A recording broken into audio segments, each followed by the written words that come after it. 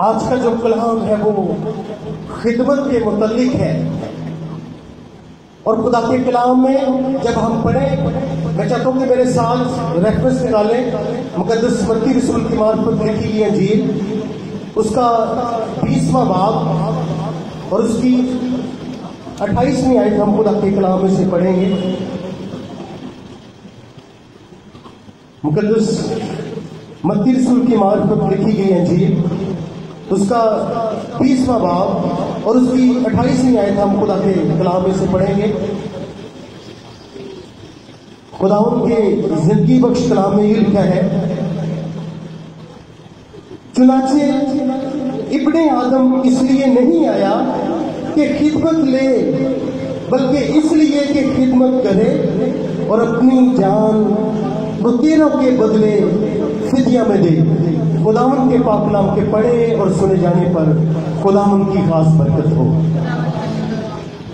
मेरे अजीजों, यहाँ पर हम देखते हैं कि खुदावन यसुल मसीह बयान करते हैं कि इब्ने आदम खुदावन यसुल मसीह अपने बारे में बयान करते हैं कि मैं खिदमत लेने के लिए नहीं, बल्कि खिदमत करने के लिए आया हूँ। और खिदमत का जो मतलब है, लफ्जी मतलब है।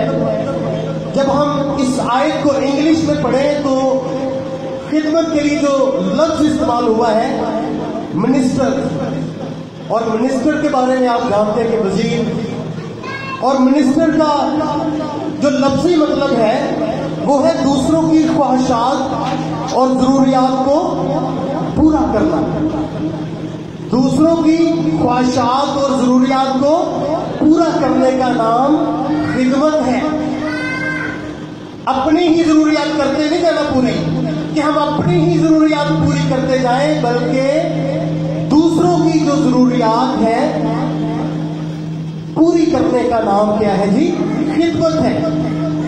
और अगर हम इसी लफ्ज को यूनानी ज़ुबान में पढ़े तो इसके लिए जो लफ्ज इस्तेमाल हुआ है खिदमत के लिए वो लफ्ज इस्तेमाल हुआ है दुआकुनिया और दुआकुनिया का मतलब है दस्तर खुआन की खिदमत करना, मेहमानों के पाँव धोना। इसका मतलब क्या है? यानी खिदमत का मतलब क्या है? दूसरों की खिदमत करना। मेहमानों के पाँव धोने का मतलब है हमारे खुदामंद यीशु मसीह की जो जमीनी खिदमत है, वो हमारे लिए नमूना है। हम सब जितने मसीही हैं, हम सब के लिए नमूना है कि उन्होंने दुख उठाने से पहले, दुख सहने से पहले क्या किया? अपने शगिर्दों के क्या धोए थे? पाँव धोए क्या धोए थे जी? जब हम खुदावन के ज़िंदगी बख्श कलाम में से योहन्ना के अंजीर उसका पढ़े हम। तेरवा बाप तो वहाँ पर क्या, खुदावन यीशु ने शगिर्दों के पाँव धोकर हमें क्या दिया जी? अमली नमूना दिया। सो खुदावन, यीशु मसीह ने जमीनी खिदमत में क्या किया? लोगों की खिदमत की। कैसे? जब उन्होंने अपनी खिदमत का आगाज़ किया तो कफर नहूम में जब ईसाया नबी की मार्फत लिखी गई अंजील जो कि खुदावन यीशु मसीह के मुतालिक लिखी हुई है, वो पढ़ते हैं तो वो बयान करते हैं कि खुदावन, खुदा की रूह मुझ पर है, क्योंकि उसने मुझे भेजा ताकि हलीमों को खुशखबरी सुनाऊं। जो हलीम है, जो गरीब है, उनको खुशखबरी सुनाने के लिए भेजा है, और कैदियों के लिए रहाई, और असीरों के लिए आज़ादी का ऐलान करूँ। यह है खुदावंत की खिदमत यानी खुदावंत यसुल मसीह इस दुनिया में इसलिए आए ताकि वो क्या करे? गरीबों को खुशखबरी सुनाए, अंधों को बिलाई बख्शे, कुचले हुओं को आज़ाद करे। और हम देखते हैं कि खुदावन यसुल मसीह, उन्होंने दूसरों की ख्वाहिशात को पूरा किया। जब खुदावन यसुल मसीह के पीछे लोग तीन दिन से आ रहे थे ताकि खुदा के कलाम को सुने। तो खुदावन यसुल मसीह अपने शगिर्दों को क्या कहते हैं कि इनको कुछ खाने को दो। तो शागिर्द क्या कहते हैं, जी, हमारे पास तो इतने पैसे नहीं कि हम इनके लिए क्या करें? खाने का बंदोबस्त करें। तो खुदावन ने क्या किया? उनको फिर खाना खिलाया। और कितने टोकरे उन्होंने उठाए? बारह टोकरे हालेलुया। सो खुदावन यीशु मसीह, जमीनी खिदमत में भूखों को खाना खिलाते थे। अगर कोई बदरू गिरता थे, उनको आज़ाद करते थे। जो अंधे थे, उनको बिनाई बख्शते थे। जो मर गए थे, उनको ज़िंदा। यार की बेटी, खिदमत है। खिदमत में लोगों की बात को ना सिर्फ़ सुना जाता है, बल्कि उनके लिए दुआ भी की जाती है। खुदा यीशु को पुराने के लिए आए। यार जो है, उसकी बेटी जब बीमार थी खुदा यीशु को लेने के लिए आए कि मेरी बेटी अभी मरी नहीं। सो चल, ताकि वो शिफा पाए। इसी तरह हम देखते कि एक सूबेदार जिसका नौकर बीमार था खुदावन यीशु मसीह को मैसेज मिला और खुदावन यीशु मसीह गए। गए कि नहीं गए? जी? इसका मतलब क्या है कि खुदावन यीशु मसीह क्या करने के लिए आए थे? खिदमत करने के लिए। खुदावन यीशु ने गरीबों को खुशखबरी दी। एक बोझ से दबे हुए लोगों सब, मेरे पास आओ, मैं तुमको क्या दूँगा? आराम दूँगा। हमेशा की ज़िंदगी दूँगा, आराम दूँगा। मेरा जो अपने ऊपर उठा लो। जो नरम है, जो मुलायम है, और मुझसे सीखो, चाहे उनकी कैसी ही बीमारी क्यों ना होती वो शिफा पाते और गुलाम मसीह शहरों में, गाँवों में, कस्बों में मुनादी करते थे। और मेरे अजीजों, आज हम सब जितने मसीही हैं, जो ईमानदार हैं खुदावंद यीशु मसीह की ज़िंदगी हमारे लिए नमूना है, जैसे उन्होंने खिदमत की, हम भी खिदमत करें। जैसे उन्होंने शकीदों के पाँव धोए खुदावंद मसीह ये चाहते हैं कि हम दूसरों की खिदमत करें, दूसरों की जो जरूरियात है वो पूरी करें, ख्वाहिशात पूरी करें और इसके लिए खुदा के कलाम में हमारे लिए लिखा हुआ है। और वो क्या है जब हम खुदा के कलाम में पढ़ते हैं? मुकदस बद्दी की अंजीर में खुदा यीशु मसीह फरमाते हैं, उन लोगों के लिए जो कहते हैं, जी, हमने तेरे नाम से बदरूहों को निकाला, हमने तेरे नाम से आज़ाद किए। तब वो भी जवाब में क्या है? कहेंगे, आए खुदावन हमने कब तुझे भूखा या प्यासा या परदेसी या नंगा या बीमार या कैद में देकर तेरी खिदमत ना की? तो खुदावन क्या फरमाएँगे? उस वक्त वो उनसे जवाब में कहेगा, मैं तुमसे सच कहता हूँ क्योंकि तुमने इन सबसे छोटों में से किसी एक के साथ सलूक ना किया, इसलिए मेरे साथ ना किया। खुदावन यीशु मसीह चाहते हैं कि हम दूसरों की ख्वाहिशात पूरी करें। अगर कोई भूखा है, उसको खाना खिलाएँ। ये है खुदावन यीशु मसीह। चाहते हैं हमसे ये खिदमत है। दस्तर दस्तरखान की जैसे खिदमत है, इसी तरह एक खिदमत है कि हम दूसरों को क्या करें?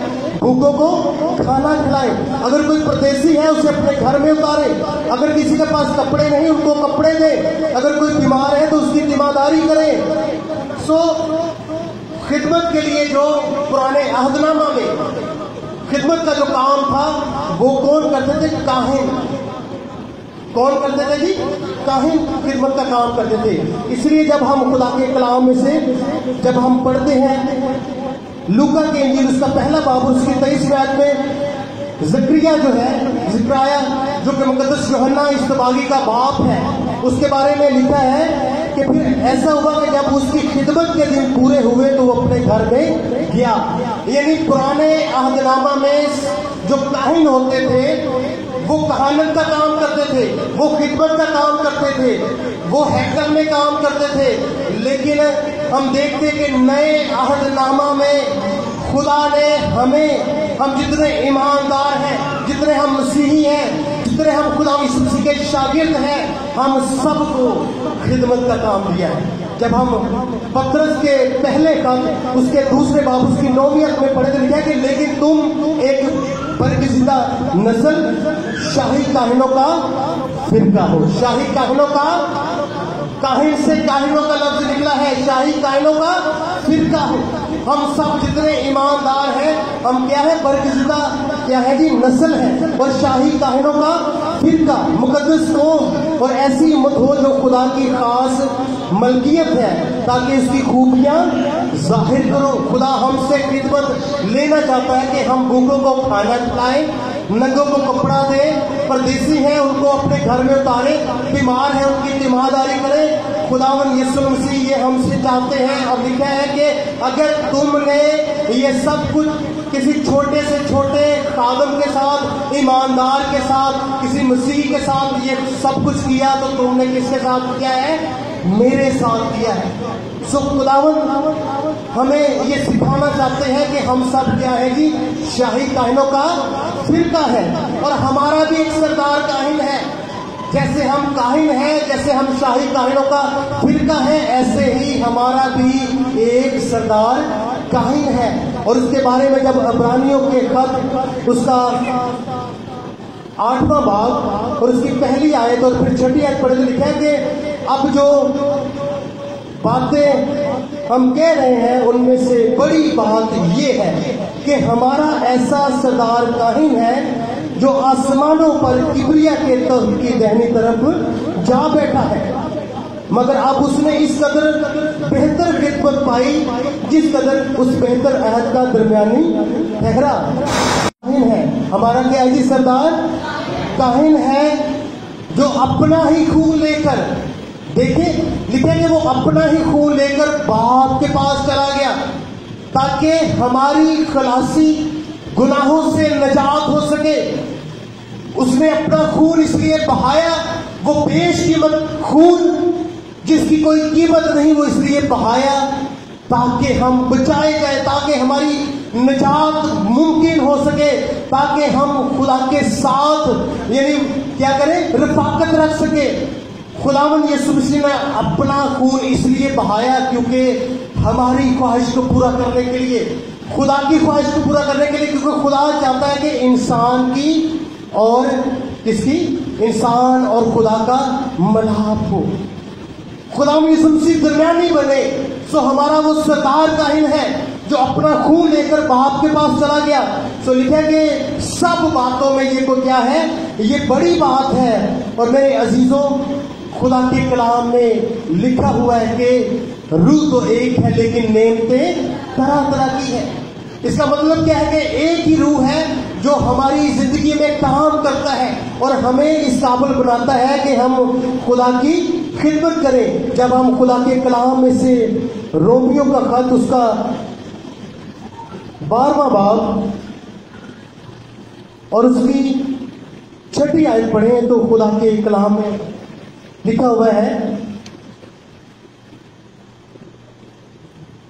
और चूँकि उस तोफीक के मुआफिक जो हमको दी गई हमें इस तरह तर, हमें तरह तरह की नेमतें मिली इसलिए जिसको नबूत मिली वो ईमान के अंदाज़ा के मुआफिक नबूत करे।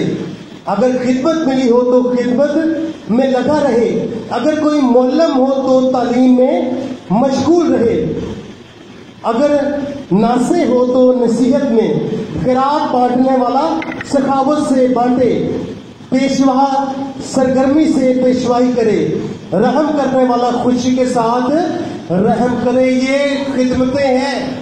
ये खुदा हमसे चाहता है और हम देखते हैं कि रसूलों के अमाल में भी जब ऐसा हुआ कि शागिर्दों की तादाद बढ़ती गई, शागिर्द बहुत ज़्यादा हो गए तो ऐसा होता है कि उनके पास टाइम नहीं निकलता था कि वो दुआ करें, वो कलाम को बयान करें, क्योंकि लोगों को जो आए होते थे, उनको वो खाना खिलाते थे।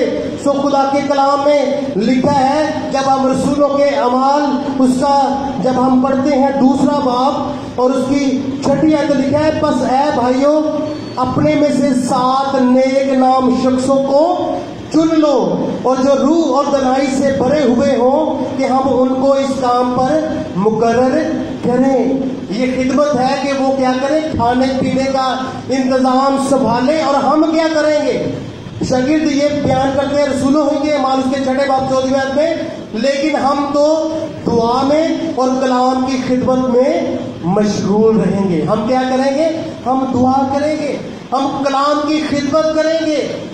हम, हमें खुदा ने ड्यूटी दी है कि हम क्या करें? मनाजी करें। खुदा के कलाम की खुशखबरी सुनाए। जो खुशी की खबर है, खुशी की बशारत है, वो दूसरों तक पहुँचाए। सो सात जो के ईमानदार थे, उनको चुना गया, ताकि वो क्या करें? वो खाने पीने का इंतज़ाम संभाले।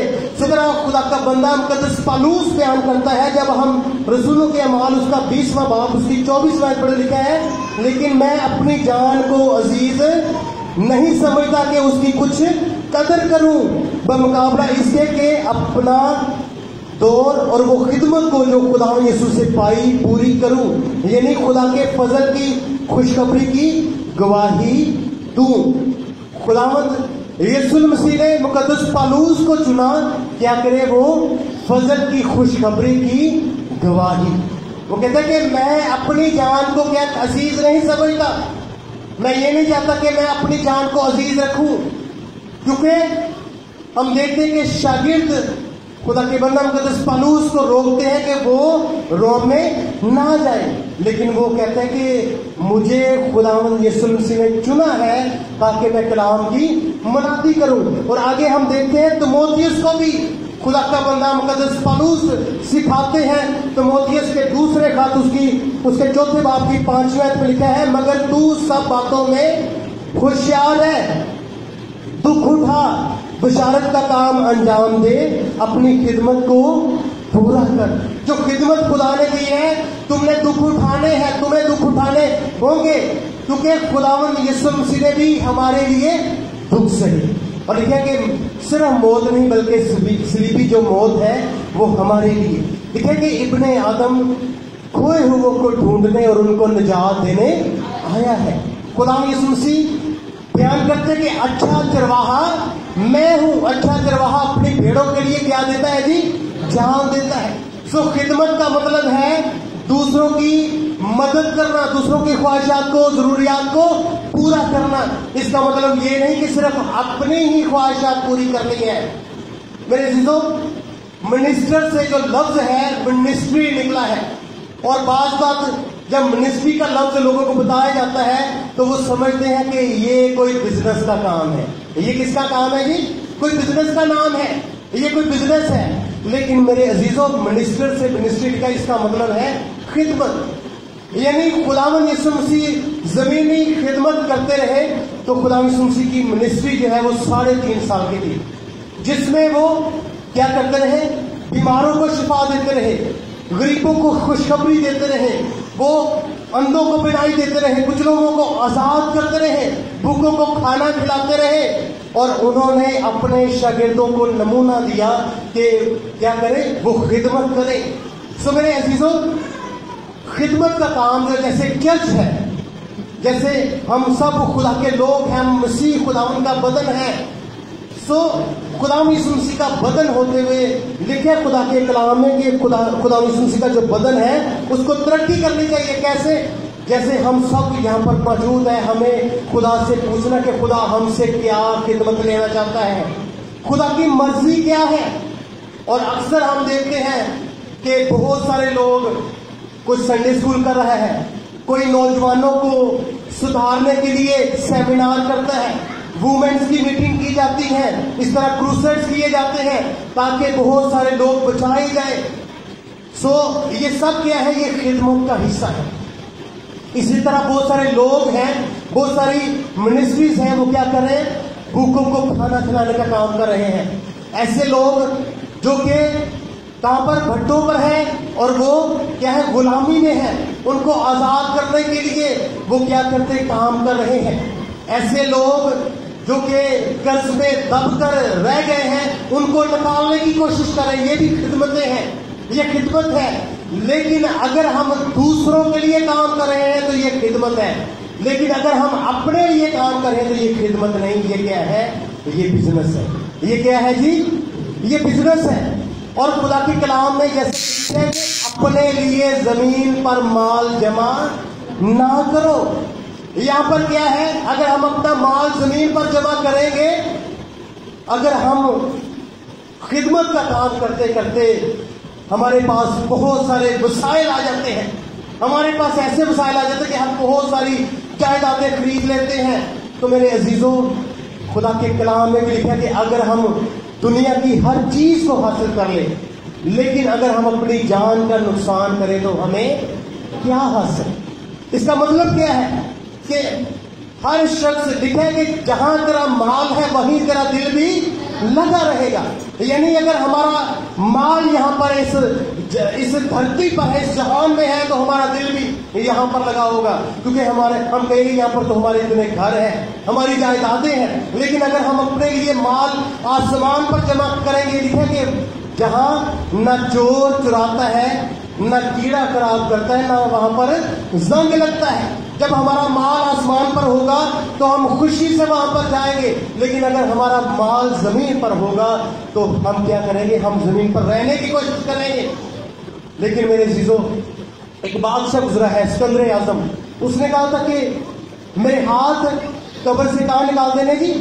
बाहर निकाल देने, ताकि लोगों को पता चले कि मैं खाली हाथ आया हूँ और खाली हाथ ही वापस जा रहा हूँ। इसका मतलब क्या है? अगर हमें खुदा मिनिस्ट्री का काम खिदमत का काम देता है। अगर खुदा हमें वसायल देता है तो हम जिस मकसद के लिए खुदा ने हमें वसायल दिए हैं, उस मकसद के लिए, उस वसायल को इस्तेमाल करें। अगर हम उस मकसद के लिए इस्तेमाल नहीं करते तो इसका भी हिसाब होगा, क्योंकि खुदा के कलाम में लिखे कि तुम में से बहुत ज़्यादा उस्ताद ना बने, क्योंकि उस्तादों का ज़्यादा हिसाब होगा। और खुदा के कलाम में लिखे खुदा फरमाते हैं कि ज़मीन और आसमान का कुल इख्तियार मेरे पास है। लेकिन इस दुनिया में जब वो जमीनी खिदमत कर रहे थे तो खुदा के कलाम में लिखा है, खुदा मसीह फरमाते हैं कि लूमड़ियों के भट्ट होते हैं और हवा के परिंदों के घोंसले, लेकिन इतने आदम के लिए सर धरने की भी जगह नहीं है। इसका मतलब क्या है कि खुदा ने हमेशा बाप की, मर्ज़ी को पूरा किया। उन्होंने ये नहीं किया कि अबलीस ने जब आकर खुदावन से ये कहा कि अगर तू मुझे सजदा करे तो मैं हर चीज़ तुझे दे दूँगा। बल्कि खुदावन ने क्या फरमाया कि तू खुदावन अपने खुदा को सजदा करो उसी की इबादत करो। तो इसका मतलब क्या है कि अगर हमें खुदा वसायल देता है और जिस मकसद के लिए खुदा वसायल देता है, अगर हम उस मकसद के लिए उनको इस्तेमाल नहीं करते तो हमारा हिसाब होगा। आज अगर खुदा हमें वसायल देता है खिदमत करने के लिए, अगर हम खिदमत के लिए खुदा से वसायल मांगते हैं, जब खुदा देता है तो अगर हम नहीं उसको उस मकसद के लिए लगाते, उसका हिसाब होगे, होगा। और लिखे कि जो थोड़े में ज्ञानदार और वफादार नहीं, वो ज़्यादा में कैसे वफादार हो हाल तो मेरे अजीजों, जब भी खुदा हमें खिदमत का मौका देता है तो हमें ये नहीं करना कि हमें बहुत सारी जायदादें खड़ी कर लेनी है। बल्कि खुदा के काम के लिए, जिस मकसद के लिए खुदा ने हमें चुना है, उस मकसद को पूरा कर। अगर खुदा ने लिखे कि खराब बांटने वाले की हमें खिदमत दी है तो खराब बांटे। अगर खुदा ने हमें कलाम की खिदमत दी है तो कलाम का काम, यानी कि खुशखबरी सुनाते जाए। अगर खुदा ने हमें इंतजामिया की खिदमत दी तो इंतज़ाम करना सीखे अगर खुदा ने हमें मौका दिया कि हम मुबशराना खिदमत करें, लोगों को इकट्ठा करके लाए, खुदा के घर में लाए, खुशखबरी सुनाए कि खुदा हमारी जिंदगियों में काम करना चाहता है। जब हम लोगों को खुदा के घर में लाते हैं तो खुदावन की खिदमत करते हैं।